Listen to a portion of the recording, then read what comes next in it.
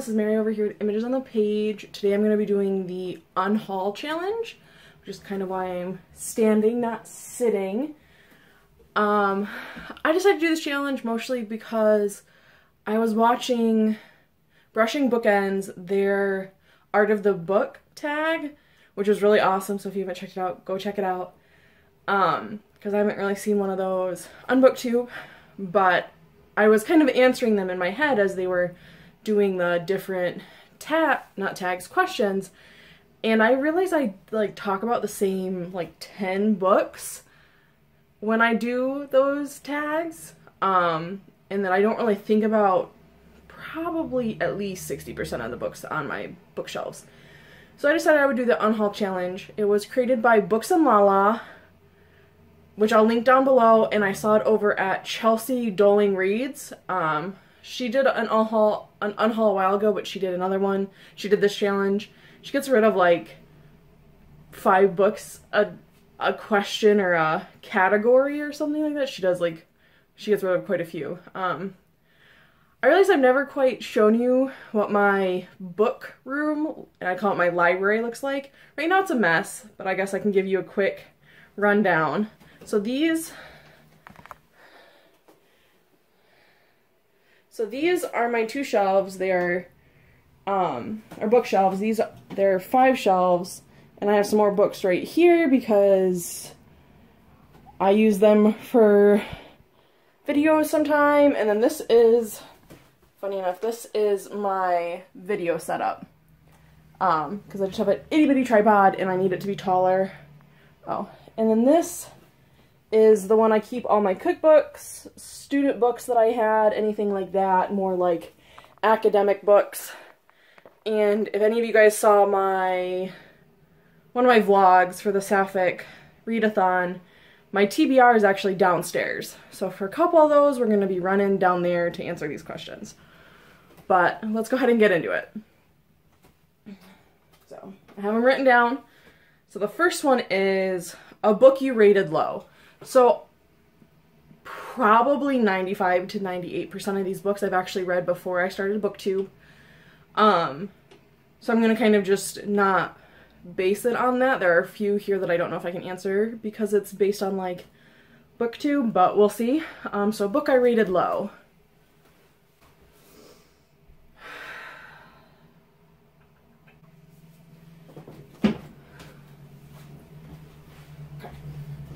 I'm choosing The Magician's Apprentice by Trudi Canavan. Um, I read it because it's like the prequel to her... It's the prequel to her Black Magician trilogy, which I did really love. Um, but this was just so slow. And I understand why, because it's setting up the like magic system that happens in the Black Magician trilogy, like the university and stuff like that, but it's just... How long is this? 777 pages long, and it did not need to be this long. Like, it, nothing happened until, like, here. Like, 600 pages in. So I'm gonna get rid of that. So, number two is a book you changed your mind about.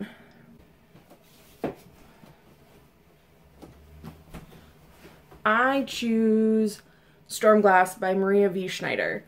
I really love her Poison Study series. Um, well, at least the first three I haven't read. I think it continues or they're shorts or whatever. Um, I've only read the first three, so Poison Study, Magic Study, and Fire Study. And this is kind of like a spin-off of that world. It's about one of the characters that we meet in the Poison Study series. And it's a lot more YA than her other books. Her other books I would term like new adult because Yelena, the main character in that, is like 20. Um, but this is definitely YA. And I'm just really picky about my YA, YA and I didn't... Like, I liked it fine, but I just find myself liking it less as time goes on. A series you won't be completing. I choose The Last uh, Apprentice Revenge of the Witch. I believe The Last Apprentice is the series by Joseph Delaney. I read this many, many, many, many, many years ago. It's also why it's about like the seventh son of the seventh son has like magic or whatever, and he goes, nope, that's a different one. he, I don't, I don't really remember what happens, but he ends up becoming like a ghost hunter type thing, and I really enjoyed it, but I just, there's like, I don't know how many now. I've only read the first one, and I don't plan on reading them. I don't plan on rereading them. So, yeah. Also, if anyone was curious, um, a lot of my books you can see have this like slight shine to them. That is actually because I cover my books in clear contact paper. I don't know if you can see, yeah, where the difference is. Um, maybe I'll do a book showing how I do that, or do a video talking about how I do that, just because I like them, because it helps with the binding, I believe, in that way it kind of protects them, it gives them a bit more structure, and I just feel like it protects them. I could be wrong, so a book you have multiple copies of. I don't actually think I have any. Yeah, when we go down to my TBR shelf, we'll have to check there, but I'm almost positive I don't have any duplicate copies of any book. So actually, the rest of these are down in my, at my TBR shelf. So I will see you down there. Just because no one's ever gotten a good look at him. Say hi to Wally. Hi, bud. Hey everyone, I'm back.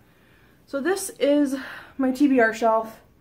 It's downstairs mostly because it's easier to get to. My room's literally like right there. Um, so if I actually grab stuff off of it, it's there so I have to haul my butt all the way upstairs. So it's a, it's a big mess right now. So you can't see it, but some of the stuff I have, I have a few books up there. Those I've actually read, but I, as I mentioned earlier, I go through this process where well, I haven't actually mentioned this earlier. I read them, and if they're soft cover, I actually cover them in clear contact paper, and then they go upstairs into my library. Um, those ones haven't been covered yet, so they're down here until I get around to doing them. I usually wait until I have a couple because it's a little time consuming, but it's really easy. So I don't want to just do one and then be done. Like I kind of want to do a couple because I'll watch TV while I do it. A book you DNF'd. I didn't actually let me see if I can find it. So I'm getting rid of the King Shield Legacy. It's a fantasy book. Um, I was really interested in it when I read it. I tried reading it. I got to page 122 sometime like in the middle of last year. And I just never got around to picking it back up.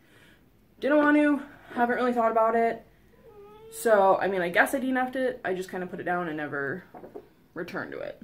So this is number two in the Stormglass series um, by Maria V. Snyder. Wally is trying to get up on my desk. Um, I, like, I, this was the one, the series I was never gonna complete. I forgot I had number two, so I'm gonna get rid of that too. Come here. This is Wally. He's being a menace. I don't know why he wants to get up on my desk. Okay. So, the next one is a book you will never actually get to. So this I take as something that you keep telling yourself you're gonna read, and then you don't. You always find something else to read. So for this one, I'm gonna go with, I'm gonna go with a few. So I chose so far I've only done one per thing. I chose four for this one. Um, I chose, I'm to find the dust jacket for this. I chose Infinity, I don't know, by Sherrilyn Kenyon. Um, I read her Dark Hunter series. There's like 30 in that series. This is a YA from one of the characters who was adult in that series. This is when he was a kid. Um, I know there's like four in this series. I just never getting to it. Never getting to it. I've had it for years. Next one is The Back Passage. Oh, that's shiny. By James Lear. It's um a gay mystery, I believe. And the writing style is very like it feels very like classical and old-timey and that's just not what I like and it's set like in old Victorian England and I don't really like stuff set in later time periods unless it's like medieval. Um, so I'm not keeping this one. The other one is The Paradise War by Stephen Lawhead. I actually don't know anything about this book. Um, I think it sounded interesting when I read it. Not happening. And then this one is Luna by Julie Ann Peters. Um, I was supposed to, I, I read, I've actually read parts of this because you can see the tabs. Um, I was supposed to read this for one of my community college classes. Um, I think it was like LGBTQ fiction, something like that. Um, it's about a girl whose sibling is transgender and kind of about her dealing with that. And I'm just, it's YA, it's, I mean, it sounds awesome. It's just really, it's contemporary. It's just really not up my alley. Not a big contemporary reader. A book you bought because of the hype. Like I said, I don't, a lot of these are, I got before I started BookTube, so I'll go with this one. Miss Peregrine's Home for Peculiar Children. So I actually own the graphic novel of this, which I did really enjoy, and I have the second one, which I might ever get to. Um, but I watched the movie and I was, I didn't know half of what was going on. So I thought I'd read the book to see what I missed because of the graphic novel. I'm not. I'm not. And a book you bought because of the cover. I don't really cover buy a lot. Um, I do read the synopsises and I could care, I mean, I care a little what the cover looks like, but it's not a really big deciding factor for me, especially because I read a lot of fantasy and I hate a lot of fantasy covers, especially like when it went through the phase where it was always like a tough, scantily clad woman on the front with like explosions behind her or like sparkly colors. I guess I actually have two I bought because of the cover. So we have Dragon Wing by Margaret Weis and Tracy Hickman. I'm pretty sure I read the synopsis when I bought it um, but I have no idea what it's about now, so I'll call it a cover buy because that definitely is what drew me to it. It is got a dragon on it with a guy riding it. Looks really interesting. This one is The Oracle Betrayed. I probably just really liked the title. I'm more of a title buy person. Like, that's what draws me more than the cover, especially because half the time they're like spine out, not cover out. So yeah. Next one is a book you don't know anything about. So as I've been going through this, I noticed there's like many of those, so I'm gonna have a lot for this. All but two are by David Eddings. I remember, um, and he got me like the fourth in a book or something like that. So I think I bought these in the hopes, because I bought like one and two. Um, I know they're fantasy. I can tell just by the covers, because I mean, look at that. It's definitely a fantasy cover. I honestly have no idea what any of them wrote. Absolutely none. And I don't care to find out. This one, I don't even remember buying this one, honestly. For all I know, it was given to me. Um, I just quickly read the back. I guess it's a short story collection. Oh, there's three in here that are not by David Eddings. The next one is Jennifer Fallon, The Immortal Prince. I really liked one of her series. It was the Second Brother series, I think. The first one is called the Lion of Senet, but I haven't really been enticed to pick up her other books. Don't want to keep it. Last one is by David Keck. I think Keek, Keck, um, In the Eye of Heaven. Also have no idea what this is about. And then the last one, a book you didn't buy. Honestly, I buy most of my books because, so I'll usually ask for like a gift card or ask for a specific book, but there is a series and it is series is Lost Years of Merlin by T.A. Barron. A friend got these for me when I was in college because I really liked, I really like King Arthur and like the Merlin story. I'm really drawn to that. But I just, I have never felt compelled, com compelled to pick these up. I've had them for like five years now. But so yeah, let me see what the total is. There are 26 books. Um, but I actually think I might go back upstairs and get rid of a few more that I don't want to keep anymore. So let's do that. When this is all done, I'll actually do a bookshelf tour so you can kind of understand my process for my bookshelves because they're actually full all the way to the bottom. But I'm going to get rid of all these mysteries. Most of them are by Sharon Sala. I do remember enjoying them a lot. There's one by Beverly Barton and one by JoAnn Ross.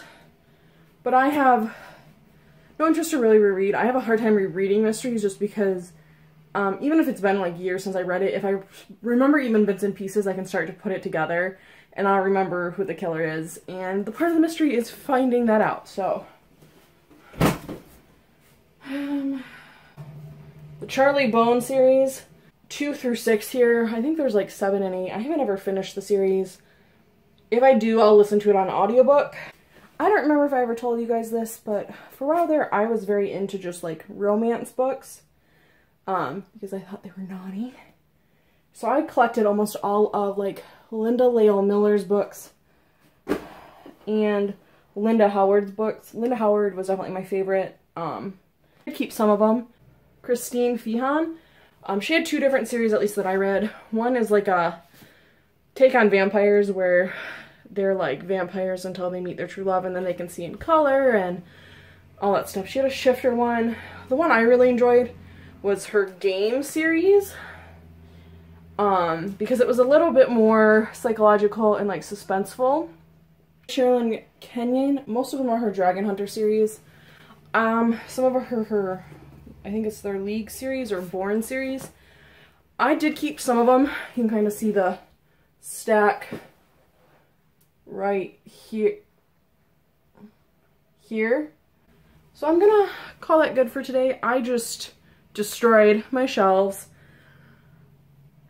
I gotta fix that now. That's gonna be fun. But let me see what the new total is. I'm gonna say I have 70 here because they all just fell over. I'm not recounting them. And 26 downstairs. So that is a total of 96. I got rid of almost 100 books. And I only have, well, I have three bookshelves. Four if you count my academic one, but I didn't pull anything from them. So I will be back with you to do a book tour once I fix my shelves. Because always this is going to be a mess because, yeah. Well, until the next video, ta-ta for now!